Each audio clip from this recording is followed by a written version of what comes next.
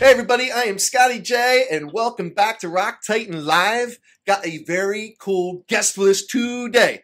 And uh new band, relatively new band with uh you know a person that you may be very well familiar with just because we've had some of the other band members on Rock Titan live uh, previously. Uh, but these guys got their debut album coming out called Redemption on June 25th via Rat Pack Records. And of course, how many people have we talked with from Rat Pack Records? So you know these guys got to be good. And uh, the lead singer of this band's got a real interesting story. The name of the band is The CEO. The front man is Mack Mullins, and he himself happens to be a CEO. Mack, how are you?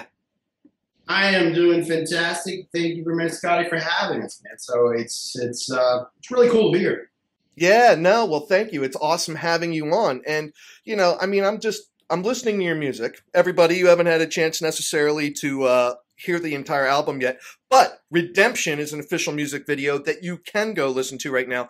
Um, and before I talk out of turn, Mack, uh, do you have any other videos out there from Redemption? Redemption obviously is the one video you have out there. Do you have another video though that I missed? We have a lyric video coming out next Friday. I want to say the 11th for okay. another track called Behind These Eyes. Right on. Right on. Yeah, yeah. And uh, I'll tell you what, you guys didn't mess around with this debut album. I mean, you got 12 tracks on there. You know, I mean, that's that is a yeah, actually, real... there's 13.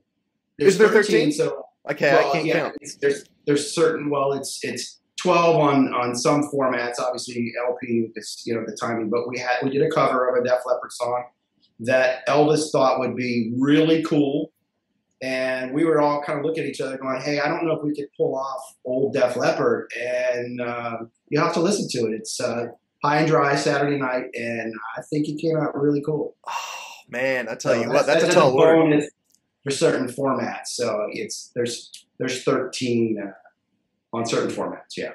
All right. Okay. Yeah. Because I, I I only heard 12, and uh, so we got Twin Flame, Behind These Eyes, Redemption, Black Hearts, Dirty Tragic, The Storm, Alive, Beginning and the End, Bourbon Straight, Work of Heart, Casting Shadows, Alone and Dead. That's the version I got. Yep. Well, so, we've got another one. Just we'll send your way just for just for giggles. That's very cool. Now I, I love uh, you know Def Leppard too. We've had Rick Allen on the show a bunch of times. So everybody, you know, if uh, you know if you feel so inclined, go check out the stuff that I've done with Rick Allen. He's an absolutely awesome dude, and uh, he's got an event coming up uh, this weekend, as a matter of fact, which should be really cool. He's doing some uh, EDM stuff.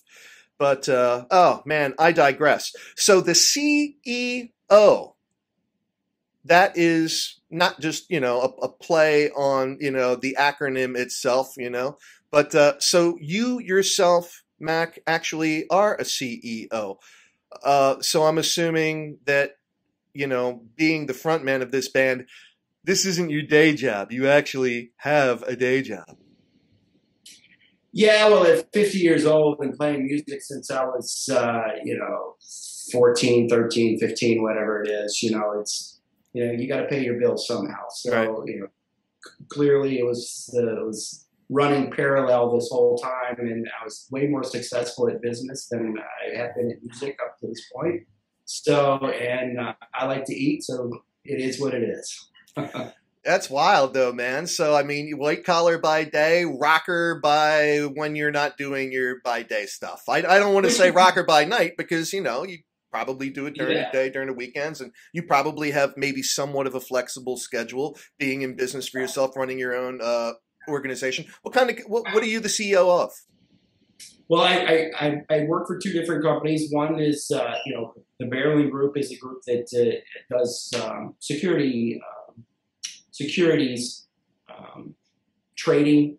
Okay. We teach uh, we teach banks how to do uh, security trading. All right. So it's very, very boring.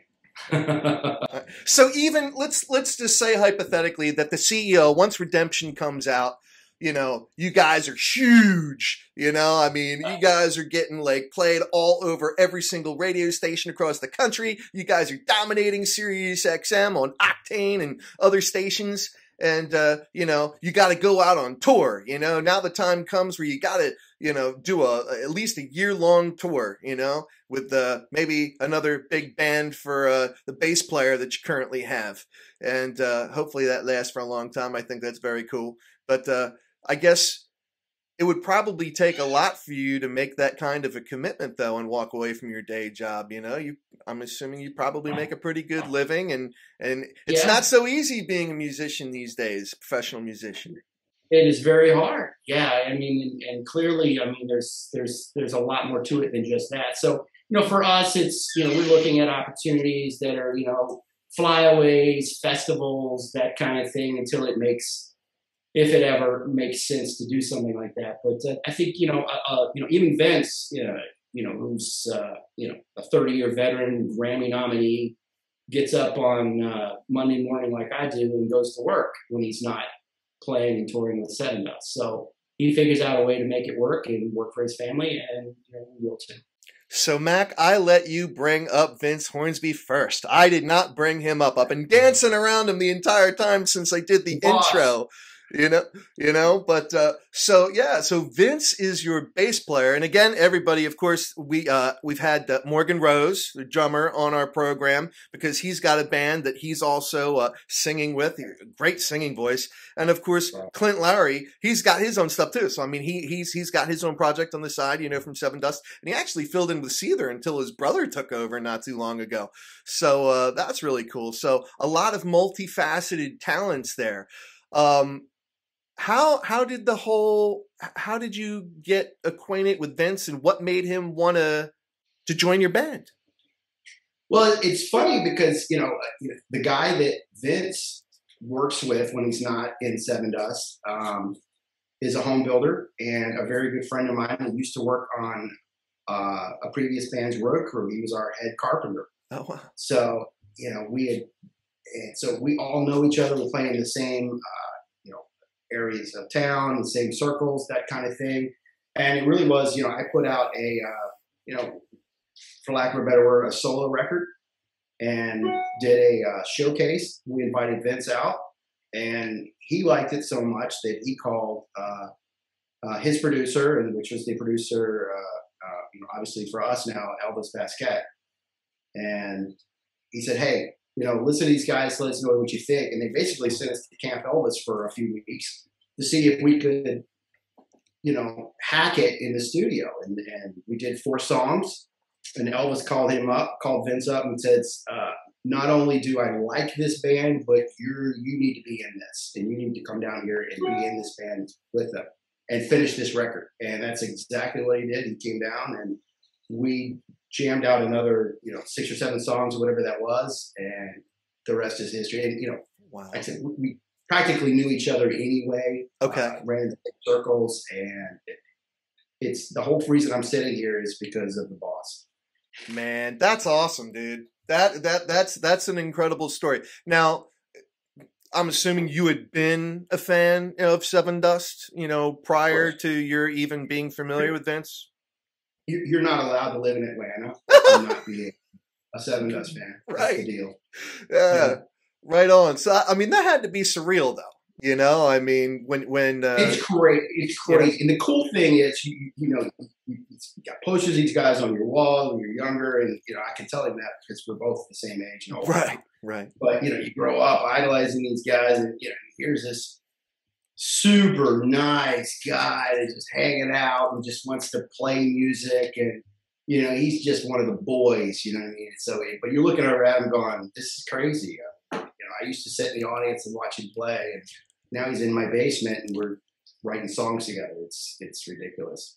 Right, right. Well, everybody, I just want to say again, I am here with Mack Mullins, and he is the lead singer of the CEO, of which Vince Hornsby from Sevendust is the bass player, and man, you got some chops, man. And uh, again, Redemption, Redemption, the debut LP from this band is coming out June 25th via Rat Pack Records, and so I have to assume just because of the quality of the music that you've put together that this wasn't like some midlife crisis. Like you didn't just reach a point in your life where you're like, oh man, you know, like the day job's great and, you know, I got a good career going, but I got this itch I got to scratch. You know, I've always wanted to sing in, in, in a band and, you know, I'm going to go off and do this like as part of some midlife crisis. Or has music really been a huge part of who you are?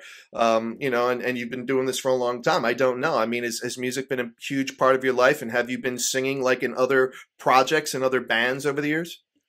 Huge part. You know, if, if anything, you know, I started you know, writing songs and playing music when I, again, when I'm, you know, 12, 13, 14 years old. Because right. I mean, I, this, I had no designs on being a, uh, an entrepreneur, or business professional, or security trader. I wanted to be a rock star. Uh, and, you know, you know how that goes. You know, it's, it's, it's a long, yeah. hard road. Some guys get there at 21. Some guys get there at 50 you know, and so I've been running parallel in music and, and playing it and, and writing, you know, for 30 some years or however long it's been, you know, 40 years, whatever that is. So yeah, it's just a little late to the party, but I'm, we finally showed up. Hey man, I am late to the party myself. You know, the only difference is some of the people closest to me, they literally do think I am having a nervous breakdown. You know, like I am having a midlife crisis, but no. I mean, I've been at this for a little while now, you know, just like you have, you know, but sometimes right. it just, you know, life takes hold and you get certain yeah. priorities and obligations, you know, and, you know, uh, you got to be careful of where your focus is. But the one thing that is absolutely for certain is you cannot deny who you are you know and i think that applies to so many facets in life especially the world that we live in now you know no matter who you are, no matter what walk of life you come from, you can't deny who you are inside, nor should you. You know, you got to be who you were born to be, no matter what the heck that is. So I think that's awesome that you're doing this. Good, thank you. Yeah, you know. Absolutely. So, um, what what's the thought process moving forward? I should maybe let me frame it like this: Are you prepared for any significant success that may be coming your way? Are you prepared for for that kind of attention and to maybe make this a much more significant um, you know uh, entity you know if you will or, or an endeavor i should say are you prepared to make this a more significant endeavor than maybe what you had initially planned on i think right now I, I mean we're we're especially for me, you know, I mean, you know, obviously, you know, Vince has been there, done that, got the T-shirt. You know, I this is for us our first time around. This is all really new. Right. You know, even though I said we've been playing forever, you know, this this PO show is new. So I'm really just kind of enjoying the process and and kind of you know each day as it comes. But you know, ultimately, it's like okay, this is great. We, we the record's been done for a year. Obviously, COVID happened it's right. been shelved. You know, we're, we've got enough material right now for album number two. Uh, so our, our, I guess our, our heads are, we're, we're excited about this record. We hope everybody loves it. We hope you love it enough to where you would want to hear album a second record. And then if you do, great. Let's go record that. And if they we put it out and they don't like it, then I'll go to work on Monday, just like anybody else. So that's that's kind of my attitude. Is kind of you know, this is fantastic. I love it. I hope people love the record. If it lasts for six minutes or six years, great. Right on. Right. On. Well, I'll tell you what, everybody, full transparency. Um, I, and I'm not just saying this because I've got Mack with me here right now. Um, but no, I mean, honestly, I wouldn't say anything at all. That I kind of live by the old mantra: if you don't have anything nice, don't say anything at all. So if I'm ever talking with one of my guests on the program and I'm not complimenting them. you know, it's like maybe I don't have anything particularly great to say about what they put out. I'm just going to be as nice and hospitable as a host as I can possibly be. But uh, right. you know, when it comes to redemption, man, you know, I'm listening to it and I'm like, wow. I'm if you put it this way, everybody, if you're a fan of Sevendust, you're going to love the CEO. I mean, literally. Uh, you know, Mack does not sound like Lajon, but the overall style of music, if you will, that hard rock, heavy metal, you know, type of, you know, in between that universe, you know, that's that's what it is, and and you've got great singing chops, man. Um, as far as the writing process goes, you know, I mean, you're a singer songwriter now. You know, add that to your list of credentials. Um, where do you kind of get your inspiration from? I mean, again, I mean, I'm looking at some of the, the, the titles on Redemption and beginning and the end, work of heart, alone and dead. You know, some of these things are like, you know, kind of like a deep meaning. Um, when you're writing, do you kind of write it from like a first person, like making it very personal for you, or is any of it like more fictitious? like you know kind of where you're writing from a place of you know more creative fiction type thing like where do you do you draw it from more personal or more from that creative non-personal side? It's definitely personal. Uh, you know I, I not that creative to come up with these really cool storylines and you know, that kind of thing. It's it's whatever's happening in the world or in my personal life at that particular time. And you know at when this album was written, there was some significant uh, things going on uh, politically. There were some significant things going on personally in my life. And if you dig, you know, if you, if you listen to the entire album, you can see what that, you know, what's going on in the world during this time when it was written, and probably what I was going through during that time, from you know relationships and you know, uh, you know, my sister passed away, so you know, we're dealing with that in one of the songs. So everything is very personal uh, and it's uh, it's true.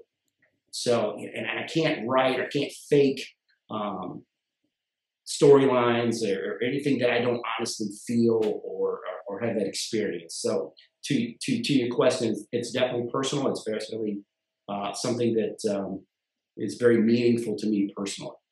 Right on.